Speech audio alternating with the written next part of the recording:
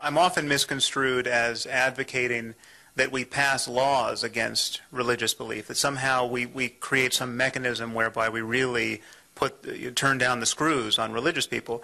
Uh, I'm not advocating that at all. I'm really advocating just new rules of conversation. I mean, ask yourself, what do we do with the astrologers? You know, I mean, how how have we managed to keep astrologers off the Supreme Court or off our medical boards or But not out of the White House. yeah, well, it's, there's always marriage, the peril of marriage, perhaps. Um, but by and large, astrologers are not acquiring vast responsibility in our society, and we're not continually ambushed by the, the neurosurgeon who doesn't want to perform surgery that day because Saturn is in retrograde or whatever. I mean, this is not happening.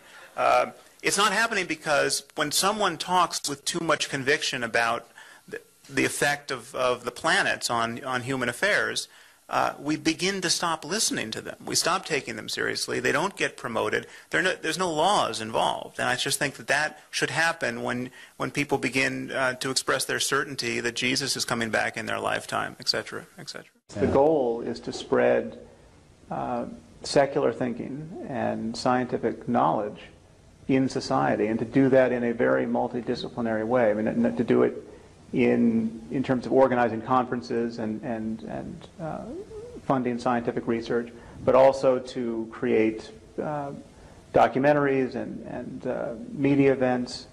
Um, and we have a very diverse board from, from scientists like Steven Weinberg to entertainers like, like Bill Maher and, and uh, writers like Ian McEwan and Salman Rushdie. My, my image is this is a problem of, of transforming the way people think about uh, the human project and, and uh, transforming the, the, kind of expectations we have of our neighbors uh, uh for making sense in public discourse. And so I, I see a role for um, business and, and uh, entertainment and also, you know, hard, you know, laboratory scholarship to come at this from all angles because we, we all have to start talking the talk uh, from all sides very quickly here, it seems to me. I will speak about Christianity specifically just to, to, for, for ease. Christianity is based on the notion that the gospel account of the miracles of Jesus is true. Okay, th th this is what you have to reject to reject Christianity. You don't have to prove the universe to be absent of God. Uh, you don't have, to, in the same way that you don't have to go find that Poseidon or Zeus or any of the thousands of other dead gods are absent from the universe. With Christianity, it is a textual claim about the veracity of the Bible. Consider what this amounts to. Bible scholars agree that the first, the first Gospels were written decades after the life of Jesus. Decades. And of course, we don't have the, the original manuscripts. We have copies of copies of copies of ancient Greek manuscripts which have thousands, literally thousands of discrepancies between them uh, many of which show signs of later interpolation, which is to say that people added passages that, that then became part of the canon. Uh, there are whole books of the canon, like the book of Revelation, which for hundreds of years were not included because they were deemed false gospel. There are other, other whole books, like the Shepherd of Hermas, which you probably haven't heard of, but for centuries it was considered part of the canon and then was later jettisoned as false gospel. Generations of Christians lived and died being guided by gospel that is now deemed both incomplete and, mis- and, and mistaken. Think about that. So this process, this all too human process of cobbling together the, the supposed authoritative Word of God, is a very precarious basis to assert the claims of Christianity. But the truth is, even if we had multiple contemporaneous claims uh, of the miracles of Jesus, this would not be good enough. Because miracle stories abound even in the 21st century. The devotees of, of the South Indian guru Satya Sai Baba ascribe all of the miracles of Jesus to him. He reads minds, he foretells the future, he heal, he raises the dead, he was born of a virgin. Okay, Satya Sai Baba is, is not a fringe figure. You might not have heard of him, but he, they had a birthday party for him a few years ago, and a million people showed up. There are vast numbers of people who think he's a living God. Okay, so Christianity is predicated on the claim that miracle stories exactly of the kind that today surround a person like Satya Sai Baba become especially credible when you place them in the pre-scientific, religious context of the first century Roman Empire, decades after their supposed occurrence, as attested to by copies of copies of copies of ancient Greek and largely discrepant manuscripts.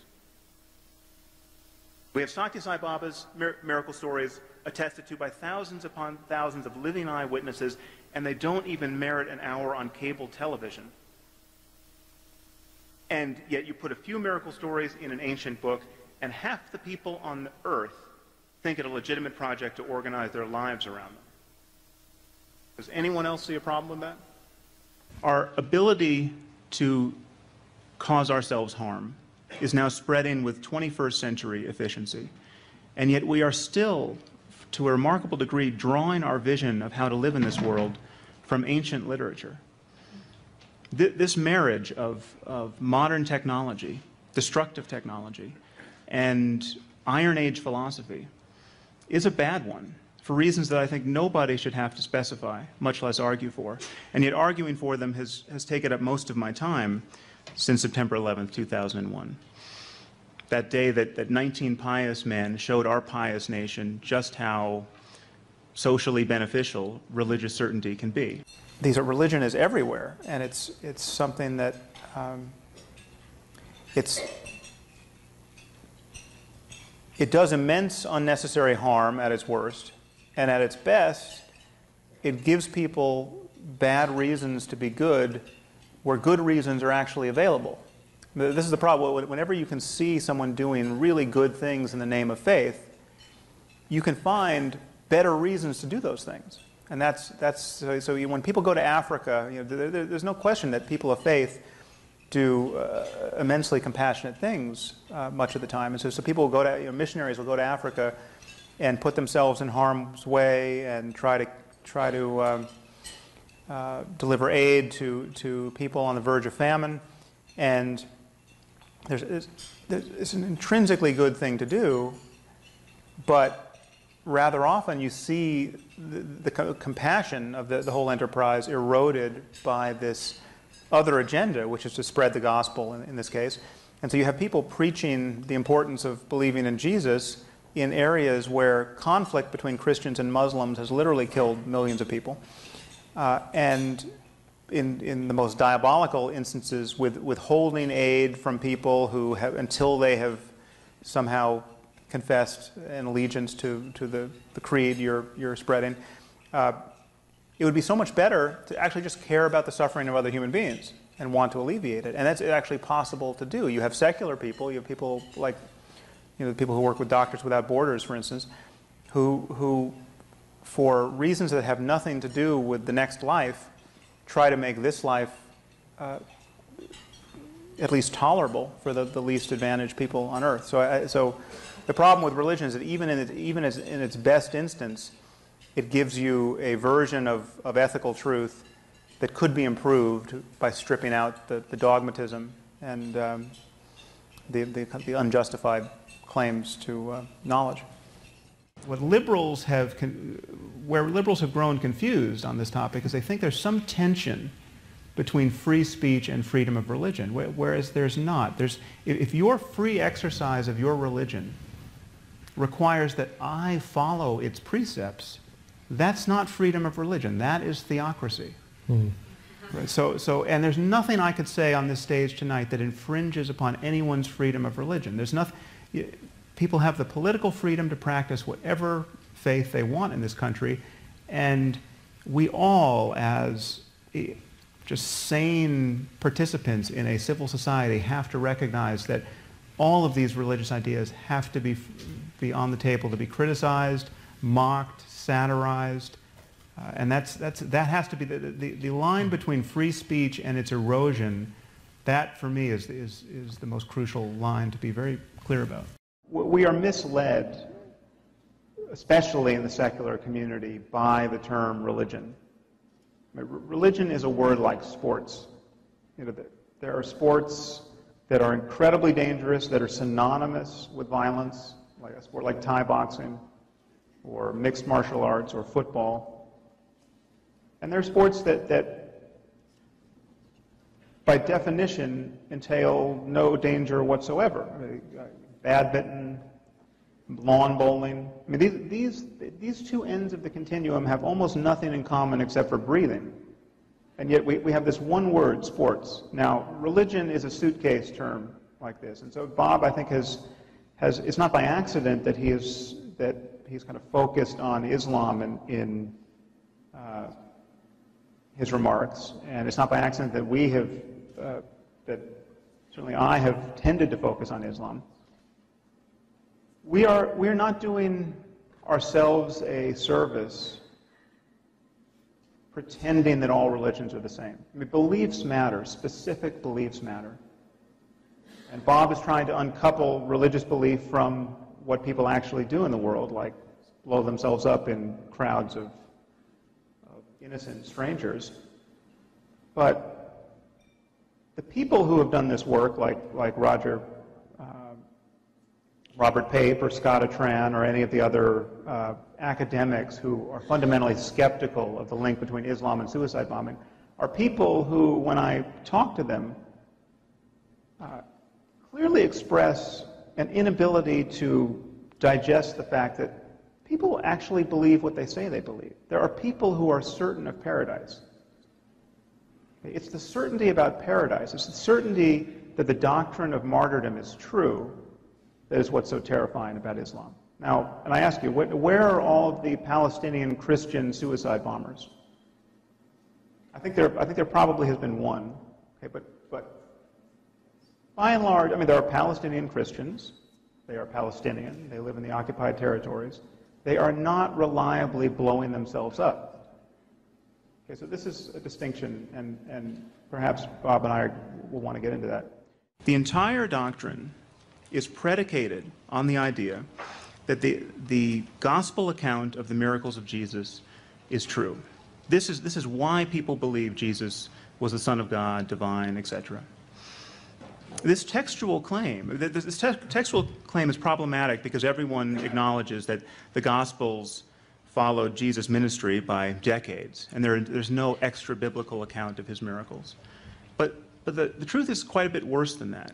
The, the truth is, even if we had multiple contemporaneous eyewitness accounts of the miracles of Jesus, this still would not provide sufficient basis to believe that these events actually occurred. But it remains a fact that yogis and mystics uh, are said to be walking on water and raising the dead and flying without the aid of technology, uh, materializing objects, reading minds, foretelling the future. R right now, in fact, all of these powers have been ascribed to Satya Sai Baba, the, the South Indian guru, by an uncountable number of eyewitnesses. He even claims to have been born of a virgin, which is not all that uncommon a claim in, his, in the history of religion or in history generally. Genghis Khan supposedly was born of a virgin, as was, was Alexander. Apparently, parthenogenesis doesn't guarantee that you're going to turn the other cheek. Uh, but Satya Sai Baba is not a fringe figure. He's not the David Koresh of Hinduism. His followers threw a birthday party for him recently, and a million people showed up. So there, there are vast numbers of people who believe he is a living God. You can even watch his miracles on YouTube prepare to be underwhelmed. Uh, I mean, it's true that he has an afro of sufficient diameter as to suggest a total detachment from the opinions of his fellow human beings, but I'm not sure this is reason enough to worship him. Uh, in any case, so consider, as though for the first time, the foundational claim of Christianity. The claim is this that miracle stories of a sort that today surround a person like Satya Sai Baba become especially compelling when you set them in the pre scientific religious context of the first century Roman Empire, decades after their supposed occurrence. We have Satya Sai Baba's miracle stories attested to by thousands upon thousands of living eyewitnesses, and they don't even merit an hour on the Discovery Channel. But you place a few miracle stories in some ancient books, and half the people on this earth think it a legitimate project to organize their lives around them. Does anyone else see a problem with that? People want to be happier. People want to be uh, less burdened by unnecessary psychological suffering. How can we bring that about? is, is delusion the only remedy? Uh, a, de- delusion has its place. I mean, delusion actually works for some people some of the time, but it actually, it's not, it is a fragile remedy. You know, reality intrudes, and then your delusions are, are no longer helping you. And so it seems to me that, that we're continually going to be in a better position to figure out how to be happy together and to, figure, and, and to see that our collaboration with one another is not zero sum. I mean, it's not like my happiness is predicated on your losing happiness. Um, for the most part, as human beings, our happiness is predicated on, on us recognizing more and more of the time that we have a common project. Uh, and uh, it seems to me that one of the challenges of science is to figure out how to, uh, to focus us on, on that common project with the least amount of friction, with the least amount of, of unnecessary, divisive, sectarian um, uh, loss of resources, essentially. And when you look at the difference between science and religion in the way they break down or fail to break down uh, boundaries between people, uh, I mean, science is, is the greatest uh, uh force for the removal of conversational barriers we have ever hit upon. I mean, there is no such thing as American science versus Japanese science. There's no such thing as Jewish science versus Hindu science. I mean, there, there is, there is, there's just science, um, and uh, there ha- at some level that that has to be true of ideas generally. It has to be true of the ideas that that uh, cash out our our moral intuitions and um, uh, our deepest goals in life. Well, I didn't learn much because one salient mistake was to talk about MDMA in an interview. so yes, I had an interview with the um, the LA Times, and it was on track to be a you know your standard interview, and, and the mention of MDMA became uh, it became the atheist has his mind blown on MDMA interview. Right. Uh, so don't do that again. Yeah, okay. Well, well, I'm glad you glad yes, you avoided you doing that yeah, again. if you pay attention, you can see that you, you no more author the next thing you think than the next thing I say. Thoughts simply appear in consciousness. What, what, what are you going to think next? What am I going to say next? I could suddenly start talking about why we don't eat owls. Why don't we eat owls? They seem perfectly good. Okay, now, no, where did that come from? Okay, it, it, came, it came out of nowhere as far as you're concerned, but the same thing is happening in your own mind at this moment. I mean, you've all made an effort to be here tonight, presumably because you wanted to hear what I had to say about free will, and now you're trying to listen to me, but you also have a voice in your head that says things. Haven't you noticed? and it, it, it, says things. Uh, it, it says things that are completely unconstrained at times by the thing you're trying to focus on. I mean, I'm, I'm standing up here trying to reason with you, and you you will think he does look a little like Ben Stiller.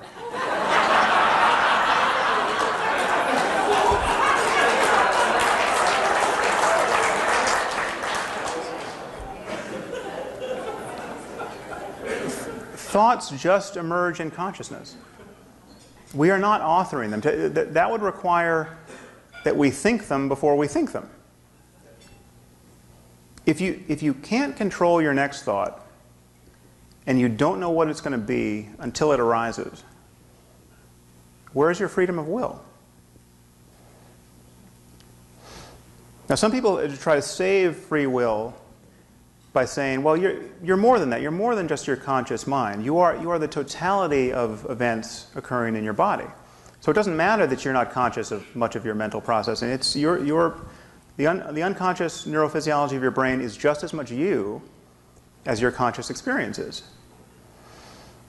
But the problem, however, is that this really is a bait and switch. You, you can't honestly take credit for your unconscious mental life. You, you have, you're making millions of decisions right now with organs other than your brain, which you're not conscious of, but you don't feel responsible for these decisions. I mean, are you making red blood cells at this moment?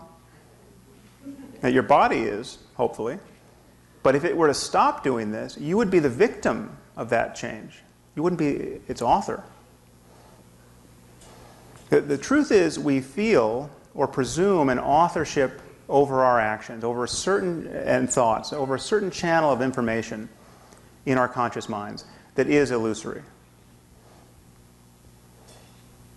So, so how can we be free as conscious agents if everything that we consciously intend is caused by things we did not intend and of which we are entirely unaware?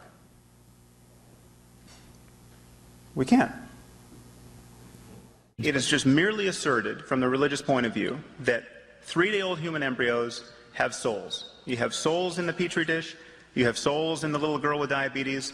You can't, you know, the interest of uh, who can weigh the interest of one soul against another? You just have to respect the faith proposition that life starts at the moment of conception, whatever that means. Well, let's talk about the details for a second. Perhaps it sounds scary to destroy human embryos. A, a three day old human embryo is a collection of 150 cells. They're arranged in a sphere, there's no brain, there's no nervous system. Maybe 150 cells sounds like a lot of cells. There are 100,000 cells in the brain of a fly. Uh, flies have brains, they have neurons, they have neurons very much like our own. If we know anything at all about the relationship between physical complexity and the, and the, and the possibility of having experience, and the possibility of having interests, we know that more suffering is visited upon this earth every time we swat a fly than when we kill a three-day-old human embryo. It's not enough to say they're potential human beings. You know, eh, given, given the, the advances in genetic engineering, every cell in the human body with a nucleus is a potential human being given the right manipulation. Every time the, the, president scratches his nose, he's engaged in a holocaust of potential human beings. Another invited speaker approached me and said, How could you ever say, from the point of view of science, that forcing women to wear burqas is wrong? And I said, Well, because the moment you admit right and wrong has something to do with, with human well being, then it's obvious that, that forcing half the population to live in cloth bags and beating them or killing them when they try to get out is, is not a, a good way of maximizing it. And she said, well, well, that's just your opinion. And I said, okay, well, let's make it easier. Let's say we found a culture that was removing the eyeballs of children every third child, say. Would you, would you then agree that we'd found a culture that was not perfectly maximizing human well-being? And she said, well, it would depend on why they were doing it. Uh, and uh, so af- after my eyebrows returned from the back of my head, uh, I said, okay, let's say they're doing it for religious reasons. Let's say they have a scripture which says every third should walk in darkness or some such nonsense. And she said, well, then you could never say that they were wrong. Now, you should know that I was speaking to a woman who was uh, quite a uh, sophisticated student of philosophy and science. In fact, she, she has since been appointed to the President's Council on Bioethics in the United States. She's one of 13 people advising President Obama on all of the ethical implications of, of medicine uh, and progress in, in, related science and technology. And she had just delivered a perfectly lucid lecture on the moral implications of advances in neuroscience. And she was especially concerned that we might be subjecting captured terrorists to fMRI-based lie detection technology. And she thought, she thought this would be a, a, a, truly unconscionable violation of their, their cognitive liberty.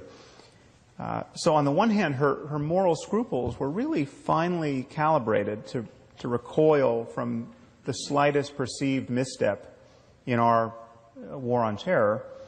And yet she was totally detached from the very real suffering of millions of women in Afghanistan at this moment. So I view this double standard as a problem. And strangely, this is the erosion of basic common sense and moral goodness that religious people tend to be worried about. Uh, now, I, I, hope it's obvious to all of you, and will be even more obvious at the end of this hour, that, that religion isn't the answer to this problem. It's, it matters, however, that Scripture, and this is not just the Quran, this is also this is most Scripture. Uh, it matters that these texts are, ethically speaking, not the wisest books we have. And it matters that most human beings think they were dictated by the creator of the universe. It, you could improve the Quran and you could improve the Bible in five minutes to the benefit of everybody. And yet we can't rewrite these pages, so we're, we're stuck with, with figuring out how to convince billions of people to interpret them in the most benign way. But if, if, if every page of the Quran had on the bottom of it a little footnote saying, oh, by the way, you know, don't kill anyone for their beliefs, you know, don't, you know, and, and homosexuals just fine, don't worry about it. Um, and women are the equals of men, despite what I seem to have said in these other surahs, women are every bit the equals of men, um, we would live in a better world. Muslims would live in a better world. And it's hard, it, because the Quran doesn't say anything like that, and because the Quran gives you a very plausible rationale for viewing women as the property of men, more than truly their equals. Uh, Muslims are left trying to, to, to do some very acrobatic theology on that point, and they have to do that acrobatic th theology. And Maajid I'm, uh, is convinced that they have the tools to do that, and I think you're convinced that they have the tools to do that. But it would be a hell of a lot easier if somebody with 21st century values could just write a, a really good page in the Quran and slip it in there. so on this point. Well, to take the other side of that, though, it, theologians are not lazy. They're doing some very hard work. And that's that's you know it's, yes. they're spent, they're burning a lot of fuel trying to make sense of their doctrines. Yeah, so it's yeah. it's. Uh, well, I think this is the political and ethical problem of our time. I, I mean, in the, the, largest, most generic sense, I think the, the contest between good ideas and bad ideas, and the contest between good methodologies at, at arriving at, at, ideas and bad ones, I think that is the, uh, the most important distinction to get right, both personally and, and, and uh, at the level of uh, societies. And um, religion at this moment has a monopoly on uh, being able to prom promulgate bad ideas without the usual collisions with clear thinking people in the world. There's a taboo against criticizing bad thinking, um, illogical thinking, false claims to evidence, false claims to knowledge.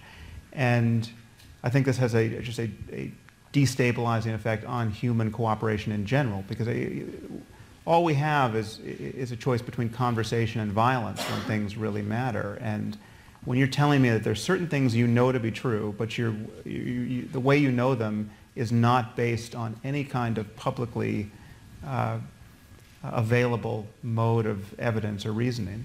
Uh, and these things are not only non-negotiable, they're the most important principles in your life this is intrinsically divisive, and this, this worries me across the board with all religion, but with certain religions, it, their commitments don't matter all that much. You know, the fact that Jains won't kill animals and are, are rather uh, dogmatic vegetarians, that's not a problem for anyone. And um, we're not going to see Jain terrorists insofar as they, they are, and, and this, is, this is why fundamentalism is a, is a is a term of art and, and, and a red herring. If the fundamentalism is not a problem if the fundamentals of your religion are totally benign. The, the crazier you get as a Jain, the less anyone has to worry about you.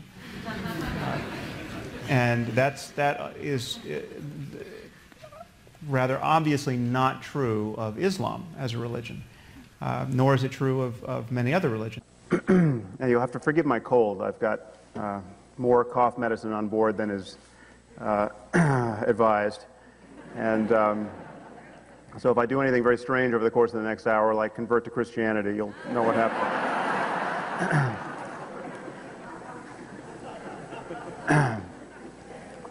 now, as many of you know, I, I spend a fair amount of time arguing that there's a conflict between religion and science. And the, the conflict is deep and unavoidable and worth taking seriously. And I think science must simply win the argument in the end without any apologies. But the truth is that science has far more inflammatory things to say about religion than we tend to admit.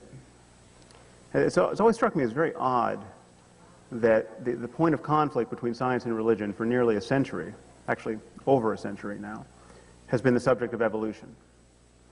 Why does anyone care about evolution? Yes, it, it renders the account of human origins in Genesis false, and therefore, by association, casts the, the rest of Scripture into some doubt. But nothing about our day-to-day lives depends upon our not acknowledging that we share a common ancestor with chimpanzees. Now, I can, I can, sort of understand why religious people are uncomfortable with the fact that our ancestors mated with the ancestors of chimps, and not just once, uh, for, for a million years. It, it, it took us a million years to get those chimps out of our system, apparently. I think we also have to admit that certain grievances really are just born of religion. They, they really are just theological. Mm-hmm. And if you get if you push back hard enough on the theology, discredit the theology, that is what you need to do to contain the the the risk born of these uh, grievances. And so, drawing cartoons about the Prophet Muhammad, right mm-hmm. now. You know, if I took out a piece of paper now and drew a cartoon, a stick figure, and said, "This is Muhammad," it's not implausible to worry that the rest of my life will just be this deranged attempt not